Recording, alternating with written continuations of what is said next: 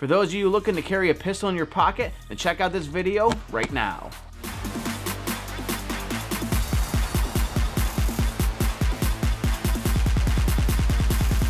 Brian Kirby here with Take Aim TV. In this episode, we're reviewing the Alien Gear Holster's Shapeshift Pocket Holster. Now, we would all love to carry a full-size pistol on our waist at all times with spare mags and any other kind of accessories we would need in a self-defense situation. But you know what? The dress code and the weather doesn't always allow for that. And sometimes we need to think of other ways to conceal a pistol. More and more people are turning to pocket carry as a pistol carrying option. When I think of pocket carry holsters, there's one thing I care about most, and that is that the trigger is protected and is covered. I hear a lot of guys say that they just throw these pistols in their pockets and they think they're good to go, but that is very dangerous. It is not safe to just have one of these in your pocket free floating around. That puts yourself at risk and the people around you at risk of a negligent discharge. So having a holster that covers the trigger guard is extremely important. As I said in my recent review video of the Ruger LCP2, that there's a lot of variables when it comes to drawing a pistol from your pocket. So also keep in mind that training is paramount.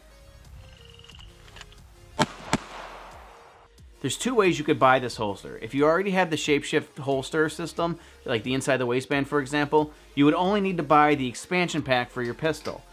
But if you do not have either, you could just buy it as one solid unit and you're good to go. The model I'm testing is for my 380 Ruger LCP2. This is a modular polymer holster with adjustable retention.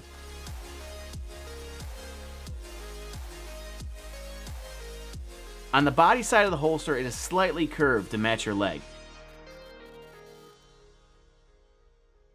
There is also a thumb press, so what you would do is you press your thumb against that piece of polymer uh, during the release to help release the pistol from the holster. The pocket adapter also helps keep the pistol in place during the draw cycle. As I said, the retention is adjustable. When I received this holster, I actually cranked the retention down to its lowest setting. And that was enough to hold the pistol in place, but also keep the holster in my pocket during the draw cycle. The retention is strong enough to hold the pistol in place even when you shake it upside down, even at its lowest setting. But I did notice there's a slight rattle going on when you shake the pistol in the holster. I think that's due to the fact that the only thing holding the pistol in place is the trigger guard, and the rest is just kind of a protective cover to the pistol. It's not a deal breaker for me, but it is something to consider. A feature I liked about this is that the trigger guard is completely covered on both sides, so you don't have to worry about something happening to the trigger while it's in the holster. So a big question with this is how does it compare to a traditional style cloth pocket holster? To me, one of the big things I liked about it was the hard polymer trigger guard. This keeps the trigger from having a negligent discharge. And I like the fact that it's covered on both sides and you know for a fact you're going to be safe while it's in the holster. Cloth style holsters, some are really good and sturdy, but some could, you know, over time wear down. And I don't like the fact that there could be something that could press and maybe pull the trigger. Maybe extremely rare and could never happen, but it's just something that I think about. But this is slightly thicker than the cloth Ruger holster, for example, that came with my pistol. It, it's a little thicker, which means it printed a little more, especially when I was wearing like tighter jeans.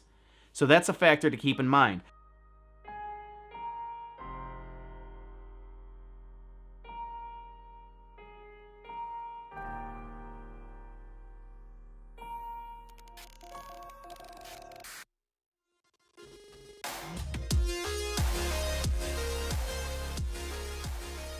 Another thing I may would like to see them do is come out with a Cloak Series version of this.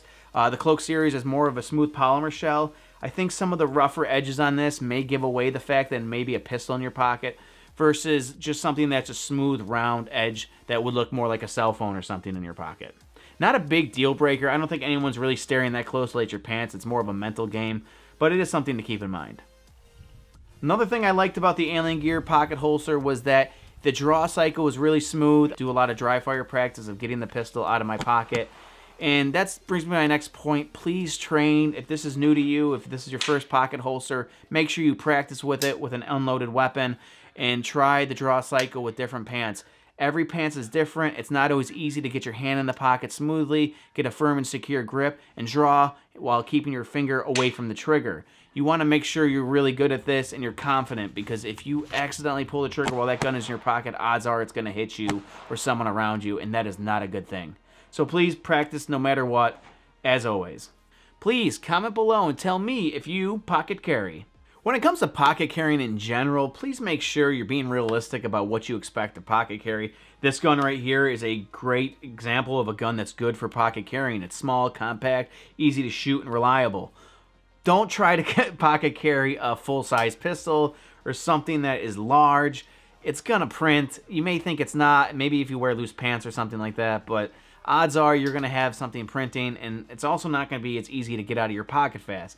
I'm not gonna be the judge of that. Eh, who knows? You may wear gigantic pants with gigantic pockets. Good for you. I don't know. But make sure you're being realistic. You know, stick with a gun that's designed for pocket carrying if you're to try to do this style of carry. This holster, along with all the other Alien Gear holsters, is made in the United States. Just quick disclaimer, they did send me this holster for the review video. This isn't a bribe, and they did not pay me to say positive things. They're not going to like everything I have to say, and that's just a traditional review video. I don't do paid for reviews, and we never will on this channel. For more information, go to aliengearholsters.com. As always, special thanks to the Firing Pin in Bergen, New York. They're a great public range that we go to a lot, and they're always accommodating. They have great deals on guns, ammo, firearm accessories. You got to check them out. They've been a huge supporter of the community during this COVID-19 crisis, making sure that our local area stays armed and ready to go. Thank you so much to them, and check them out, the Firing Pin in Bergen, New York. Thank you so much for watching. Please subscribe to our YouTube channel, like our Facebook page, follow us on Carbon TV and Instagram. We're going to have tons of new content coming your way soon, and we appreciate you all who are watching right now. Stay aware, carry often, and I'll see you next time.